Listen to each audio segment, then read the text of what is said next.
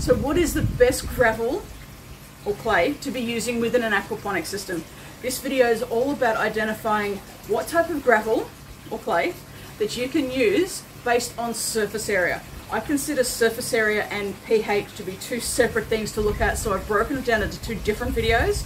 So this is the first video, well I say first, but this is one video that identifies the surface area. And when we talk about surface area, we're talking about the bacteria, where it lives, and that there's enough room for bacteria to grow.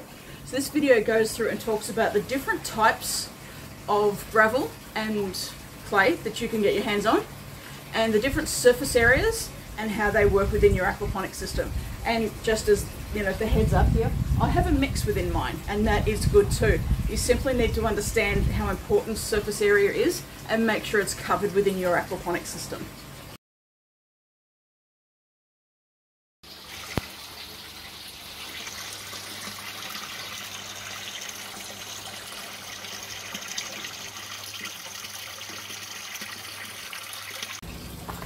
Don't forget to hit that subscribe button. I'm putting videos up every couple of days, so make sure that you hit subscribe so you can get all of them. G'day, alrighty, so I want to talk to you today about surface area. Surface area is critical when it comes to aquaponics because that's where our bacteria live and we want to be using uh, different types of clay or gravel that has high surface area. So I'm going to take you over and show you the table. We've got a whole heap of different options set out to be able to show you what does have good surface area and what doesn't. So we're not talking about the pH here, how it's going to affect the pH, purely the surface area. Okay, so we want to understand how that works and is what we need to make sure that what we're looking for is actually the right thing. Okay, so I'm going to move you on over and show you what I'm talking about. Sorry to interrupt. Look, to really boost your aquaponics learning, jump on over to my website for some free online training and it's really structured it's going to help you get a really good grasp of how this works rather than trying to pick it bits and pieces everywhere. Let's get the, the foundations happening, okay? So some free online training at www.theaquaponicslady.com. Jump on over and get your free training. Hey guys, today we're talking about the surface area for your grow bed or your filter. And it's important to understand that you're, if you're using an actual grow bed, then that is your filter.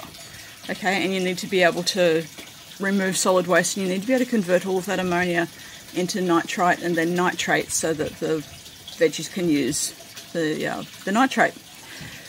Now, often people will look at what the options are and as I said, we're talking filtration and surface area at the moment, so we'll go through pHs and, and things like that differently another time. This is called, this one is called a bioball, and this one is called K1 and these are what is used within aquaculture and in some uh, aquarium filters. Okay, they have a huge surface area. So all the bacteria lives in all those little nooks and crannies. Same with this one. They've got lots and lots of places to, to live. And so you need lots of surface area so you can, you've got lots and lots of filtration. So people will look at what are their options in relation to surface area, although they actually think about what's cheapest. And honestly, you know, your expanded clay, volcanic rock, it um, it has a heap of surface area. This is what's commonly used in both aquaponics and hydroponics. But for aquaponics, the reason it's used is because it's got such, it's so porous. You can see the cracked one there, or the broken open. It's got lots and lots of surface area. The problem is though, it's super expensive. Okay, so when we're wanting to do things a bit more affordably, we look at what are the options. Now this is three different types of gravel from my local landscaper. This is blue metal, this is river rock, and this is scoria, which is another form of volcanic rock. And again, we're only looking at um, surface area right now. Out of all of three these, the river rock has the less surface area. It doesn't have all that many holes inside of it or around it, okay? So it's, even though it's, it's well, it's fairly smooth actually, but you can see that there's little little crevices in it. It doesn't have the same surface area as your, your bioballs or your expanded clay. But it's an awful lot cheaper. This rock, it's um, not to be confused with uh, recycled cement but it is a type of drainage gravel. It's called blue metal here.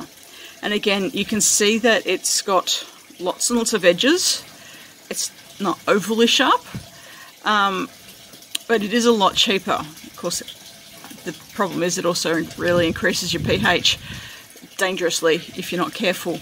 Um, so that's another option. It does not have the same surface area as your expanded clay or your bioballs, okay?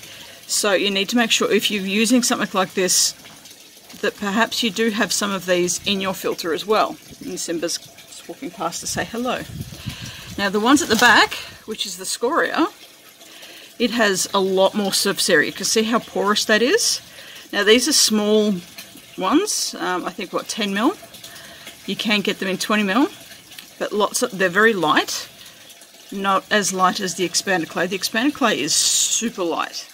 Okay, so these are still quite light in comparison to the, the gravels. Okay, so both of these are, are very heavy, whereas the scoria is still quite light, incredibly porous, but you can't always get it everywhere. And the other problem with it is it takes intense cleaning. Now, I'm not talking about just dunking it in the water or hosing it down a bit. You need to go a lot more uh, intensive on your cleaning schedule for this. It's something that I usually use a cement mixer. I just hire one out and use a cement mixer to clean it. I bought a, a 15 kilo bag from the local hardware store and I rinsed out it as thoroughly as I could because I was wanting to use it in this system for something.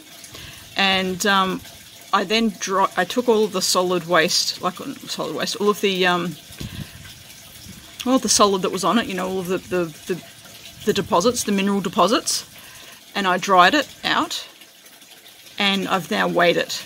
And in a 15 kilo bag, there was 800 grams of dried uh, minerals, uh, dust.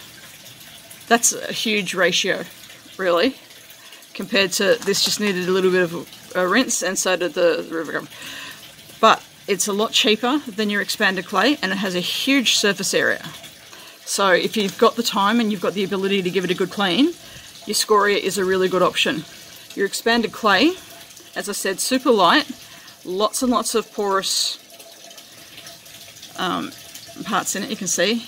Lots and lots of holes, lots and lots of space for your bacteria, so it's, it is the perfect thing to use. Uh, but for a bag of this, it's $55.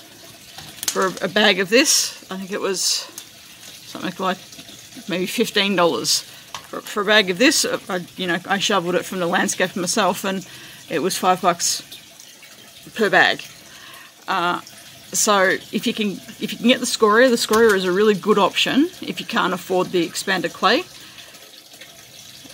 And look, you've just got to make sure you've got the time to clean it. If you don't, you're going to pop it in your system and all of that dry uh, mineral dust, it's going to end up making your system red.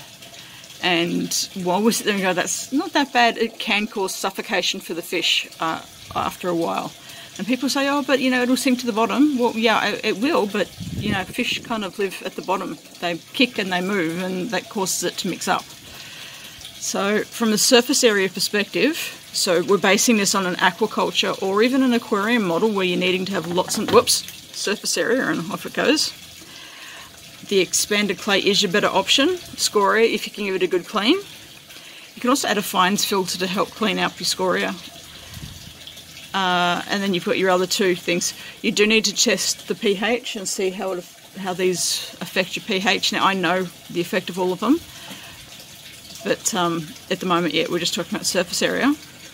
The other thing to remember is, and we'll point it out a bit later, is what's it like with your hands, and it's interesting. Those who have really successful aquaponic systems, they always talk about using the expanded clay, saving up, making sure that that's what you use But it is awesome for the filter and that's you know the ideal situation and the other thing the other reason is the, the, the scoria so this one off the back it's really rough on your hands and when it's wet and it's cold and you're digging in there to get any roots out from you know your recent harvest it can easily cut your hands okay it's a absolute nightmare on your fingers I'm used to it. I kind of don't notice it anymore. I get lots of little nicks and I'm just not used to it. Like I, I just don't pay attention anymore but it's something to be very, very mindful of is that that scoria rock can easily be such a hazard for your hands. So from that perspective, people will often go towards some type of small gravel. As I said, we've got the blue metal here. I know that the blue metal will cause the pH to rise. I know that the river rock won't affect the pH at all, neither will the scoria, and neither will the expanded clay. But we'll do some tests to confirm all of that because, well, everyone likes to be able to see things happening, don't they? So, as I said, we're talking about the surface area, and I always put some of these in any aquaponic system that I build because you can't have too much filtration. Okay, you, but you definitely can have not enough. Okay, I would much rather remove all of that ammonia and have it all sitting as nitrate ready for the veggies to take up than having not enough filtration and having ammonia still sitting there with the fish. Okay, so water flow and filtration are two key components of your system. Well, thanks for watching. I hope you enjoyed the video. If you've got any questions or comments, make sure you do leave them below and hit that subscribe button so you can find out when I've got more videos being posted. And don't forget to follow me on other social media because I do different lives on different social media on different days. So, again, Thank you for watching. I really value and appreciate your time and I hope you enjoyed it.